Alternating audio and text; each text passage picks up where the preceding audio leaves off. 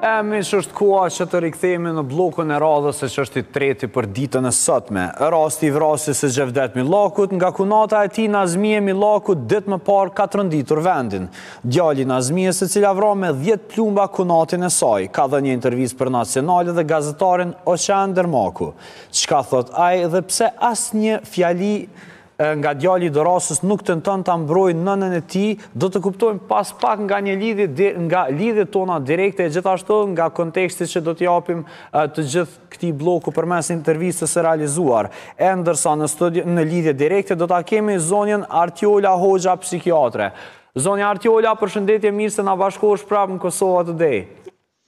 Përshëndetje Kron, mirë se u gjeta.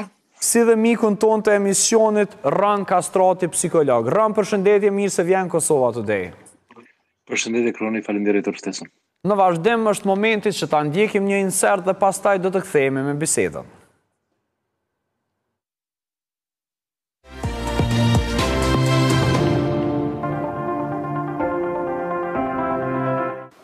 Axha im asnjëherë nuk e ka kërcënu nënën tem. E mbi të gjitha, asnjëherë as nuk ka tentu me sulmu fizikisht nënën tem.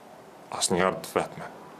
Gjithmonë, ju thash, vetëm ka, ka thënë mjaft, nuk, unë nuk po të them asgjë, unë po shikoj televizor, nëse nuk është ndalë prapë, Ka dalë, ka ujit lulet, ka qëndruar me qent, derisa ka shku në dhomën e tij dhe ka fjetë. Burimi kryesor besoj ka qenë xhelozia që ne po qëndrojmë me ta. Nga, nga ajo xhelozi u kriju edhe një urrejtje, që nuk ka pëlqim ndaj axhës tonë, ne e kemi parë, por gjithmonë i kemi folë që axha ynë nuk ka problem me të, kur ne dalim me axhin tim asnjëherë nuk e ka përmend, asnjëherë mbi gjitha nuk ka thënë mos qëndroni me nënën.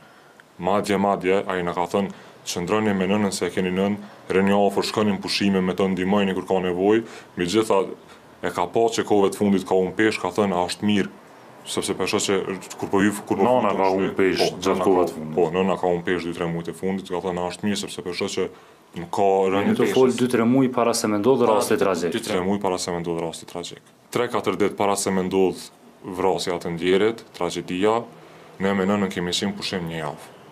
Me nënën e juaj. Edhe me nënën, edhe babain, edhe vëllain. Gjatë atyre shtatë ditëve, gjatë tërë rrugës, nuk ka di, edhe pse kemi shku mu kënaq, kemi shku me shiju, Gjatë rrugës ka folur vetëm për urrejtjen se ai po na nxit neve, ai po mendon që na ta lojmë lloç, apo ta qesim në rrugë, por axhi jonë asnjëherë s'e ka bo një gjë të tillë. Gjatë gjithë rrugës ne jemi mundu, Nana ka fol kështu, ka mendu domethënë, e ka pas këtë bindje që, si një lloj paranoje ndoshta, si një lloj paranoje që ai po na nxit neve që ne mos mu largu nga ajo edhe me një ditë larg me bo një planifikim që me largu nga shtëpia apo çfarëdo ideje të keqe që e ka pas ndaj tij.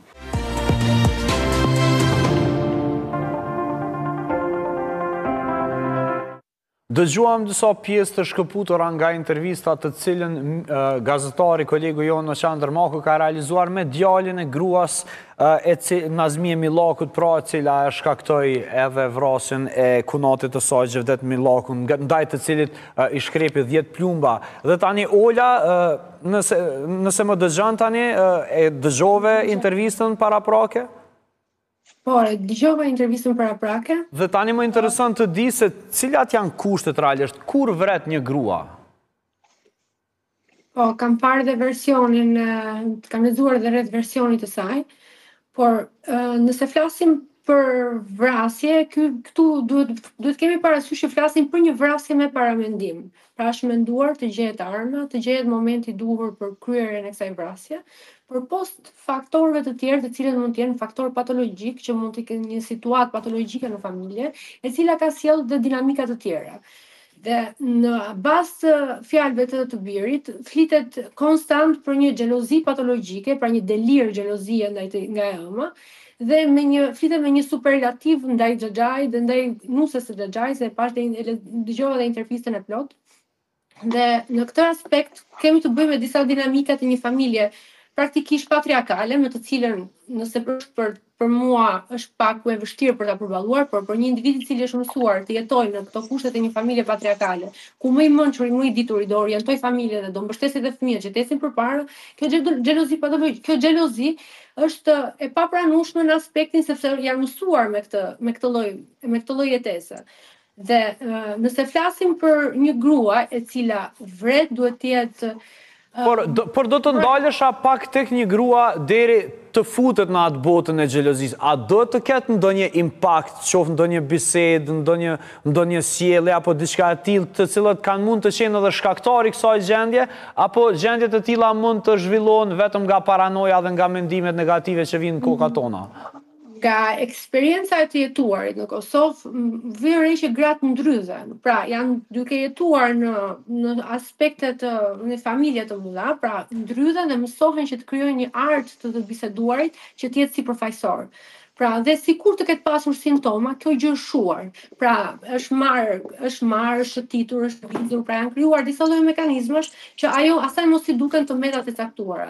Pra praktikisht ka qenë funksionale përderisa është është kujdesur për rritjen e fëmijëve, por në aspektin e fëmijës, në qoftë se flasim për xhelozi patologjike dhe me me, me tiparet e një nëne narcizoide, e cila mendon se gjithmonë ka të drejtë dhe mund të ngrejë zërin dhe mund të shkaktojë divergjenca dhe përçarje në familje, atëherë po flasim për një patologji e cila për një xhelozi e cila nuk është vetëm ndaj një partneri apo një individi të cilin duhet ta kontrollosh në formë obsesive ose një ose një obsesion i Otellos, Një xhelozi e Otellos, por po flasim për një xhelozi, kjo quhet xhelozia e Marjetit, kur ti ke xhelozi dhe ndaj çdo gjëje tjetër. Pra mund të kesh xhelozi dhe ndaj personave, apo mund të kesh një xhelozi ndaj një shoqe, mund të kesh xhelozi për fëmijën tënd që ta mbash të tuteluar, duke përfshirë disa tipare narcizoide të natyrës së saj që ka dashur gjithkohë dhe është rritur ka jetuar nën trysninë e një kunati i cili ka drejtuar familjen.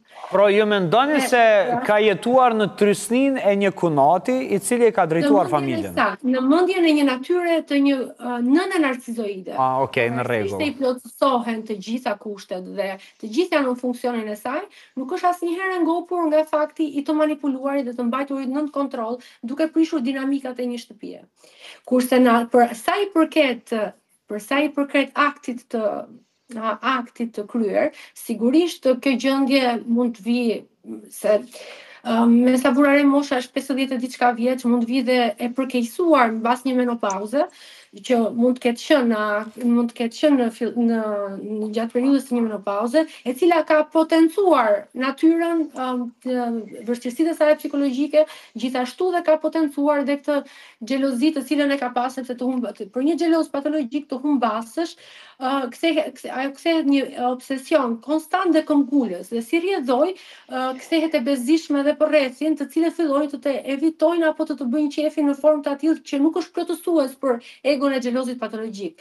Dhe ë pavarësisht pavarësisht të gjitha këtyre, ë ky person nuk kufizohet dhe kufizohet deri në atë pikë sa të kufizojë jetën dhe marrëdhëniet marrëdhëniet në duke kryer duke kryer akte, veprime, duke gjetur justifikime dhe kjo, kjo gjë pastaj ka shprishur dhe dinamikat, por nuk do të thotë që veprimi i i aktit të vrasjes, lidhet detyrimisht me vetëm me çrregullimin psikologjik që mund të ketë ardhur, detyrimisht edhe thjesht po hipotetizojmë nga nga një çrregullim personaliteti i saj, mund të ketë ardhur nga një nga një delir xhelozie apo gjithashtu mund të ketë ardhur dhe si pasojë e kësaj depresionit të menopauzës që logjikisht te gratë agravon dhe rrit personalitetin e tyre të çrregulluar. E po. qartë, po. Dhe ajo që më bëri përshtypje, e ke kapur mirë faktin që një djali nuk mbron se sido që të jetë, është nëna. Është nëna. Pikërisht këtë do të doja të ndalesha. Fëmija, po që fëmija automatikisht mbron në formë në formë unanime, pra në formë sublime. Dhe kjo vjen si pasojë e një jetese, kjo jet, kjo jetesë e cila ndodh në në formë patriarkale apo në komunitet shpesh herë është gabim, por është edhe mirë sepse të të jep shembuj të mirë. Pra ti përzgjedh të marrësh shembullin e duhur. Dhe nuk është se ata nuk e kanë ditur tiparet e saj për të për të dashur të drejtojë, të komandojë, të bjerë në sy, të të, të fillojë të grricet, të të, po, aktojë dinamika të papërshtatshme në shtëpi, e kanë ditur kush ka qenë defekti dhe në këto forma ata kanë zgjedhur kanë zgjedhur imazhin për të marrë. Sigurisht në këtë aspekt sepse kemi xhaxhain, kemi dhe babain që xhaxhai ka qenë një figurë mbase dhe më intelektuale dhe këta e kanë ndjekur për t'u rritur dhe për t'u rritur dhe intelektualisht sepse ka do kanë qenë fëmijë të zgjuar. Po. Si pasojë të gjithë kësaj dinamike po flasim që këta kanë qenë të ndërgjegjshëm dhe të mirë formuar në psikologjikisht në aspektin e të diturit se çfarë është mirë dhe çfarë është keq dhe cilin dhe cilin shembull unë do të përzgjedh. Dhe një nënë narcizoide zakonisht është absente dhe të bën të ndihesh keq, të zhvlerëson nga ndjenjat e tua. Prandaj dhe ata kanë gjetur një paqe te xhaxhai të cilin mund ta mbrojnë relativisht. E qartë, do ta do ta pyesja edhe edhe Ronin. Ron, realisht një bashkëbisedim jashtëzakonisht i qetë për një rast jashtëzakonisht të rëndë, e ndërsa bëhej fjalë për personin më të afërt të personit i cili dha intervistën, pra nënën e tij. Si e shikon, si e patë krejt këtë intervistë dhe çfarë ju bën të mendoni komplet forma se si shprehej ky person ndaj nënës e cila tani më është personi i vetëm i cili brenda këtij krimi do ta vuajë dënimin. Po, Roni. Fillimisht temat e tilla të cilat po i trajtojmë në studiot tuaja sigurisht i shërbejnë njerëzve që jo vetëm t'i qartësojnë gjërat, por edhe të ndërgjegjësohemi për mënyrën e proceseve nga gjykata, prokuroria dhe shumë rasteve tjera se si artikulohen nga institucionet.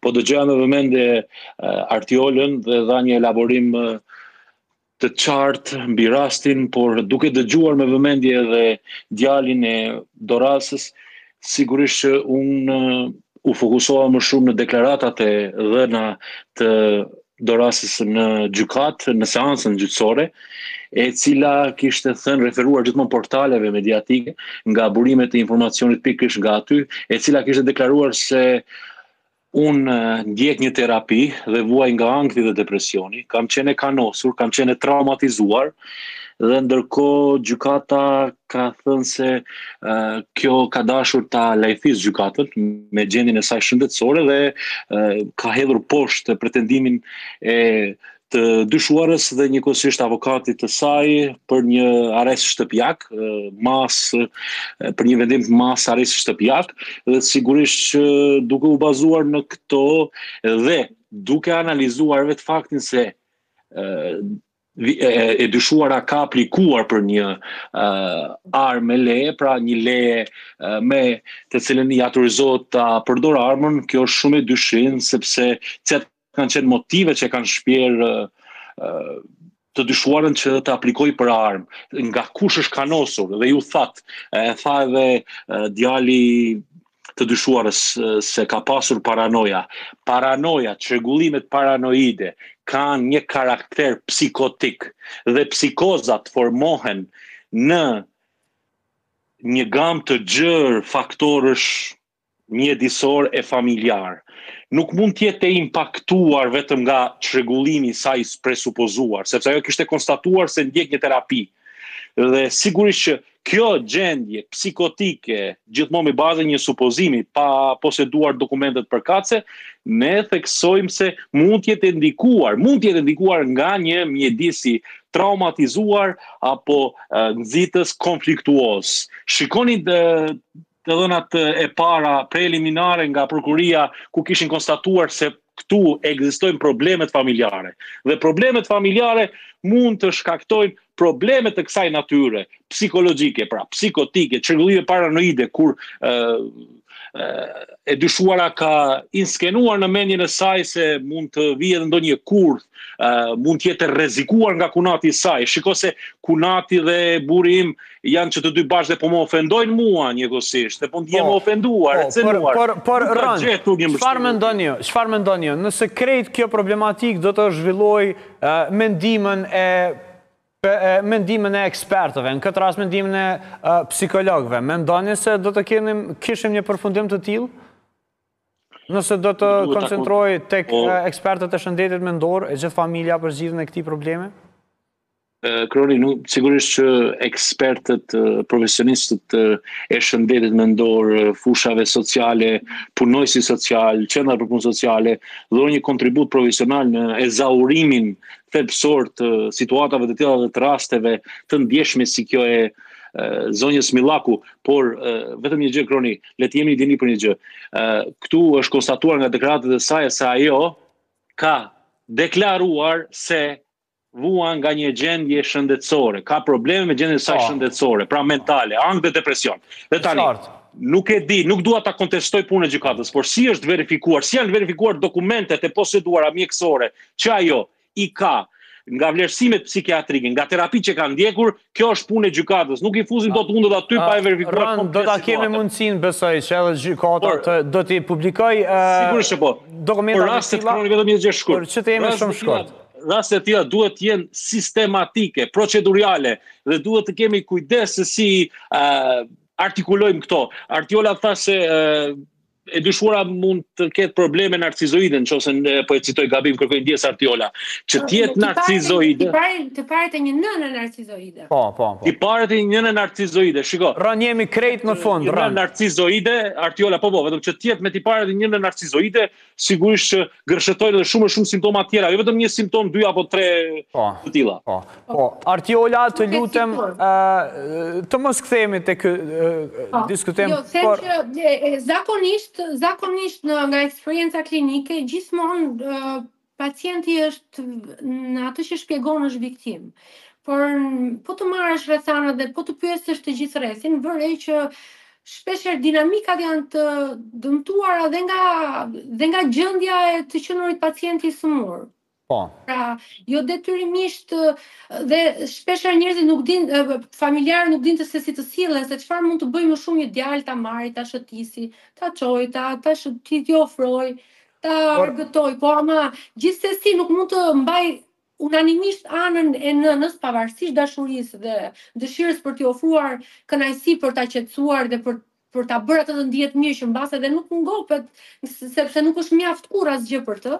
Po. Dhe një që është i shëndetshëm e dallon e dal- dallon lehtë që këtu po bëhet për një fja- për një sjellje patologjike dhe mundohet të mbajë ekuilibra në formë të fshehtë. Po. Dhe vjen re shpesh mbasi ke folur me të gjitha palët, të, në fillim të mbushet mendja që pacienti është viktimë, mbas me kalimin e pavarësisht se mund të ketë arsye të caktuara po. një traumë e cila ka shkaktuar këtë, ka nisur këtë gjë, por në rastin konkret, fakti që këtu këtu bëhet, sepse një pacient, dhe ti ke eksperiencë goxha dhe e di shumë mirë që një pacient do kishte një konflikt momental dhe pacienti në moment do ketë um, qoftë vuan nga ankthi, në një moment anksiogjen do fillojë që të ketë agresivitet. Kurse po. një krim i pra planifikuar, kjo quhet më në gjykatë, gjykata prandaj dhe po mundohet që ta mbajë nën kontroll sepse këtu flitet për një vrasje me paramendim.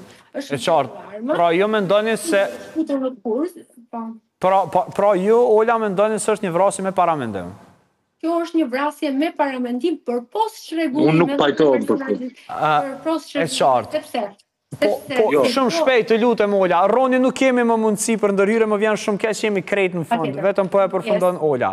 Po Ola? Po vetëm të kemi ekuilibra në jo, sepse edhe unë e përfundova nuk e përfundova fjalinë ishte gjithmonë. Mirë, atëherë atëherë do ta kemi rastin që do ta diskutojmë së bashku me Olën dhe Rronin ndonjëherë tjetër mbase edhe do t'i kemi në studio dhe do të diskutojmë në lidhje me problematikat e tilla.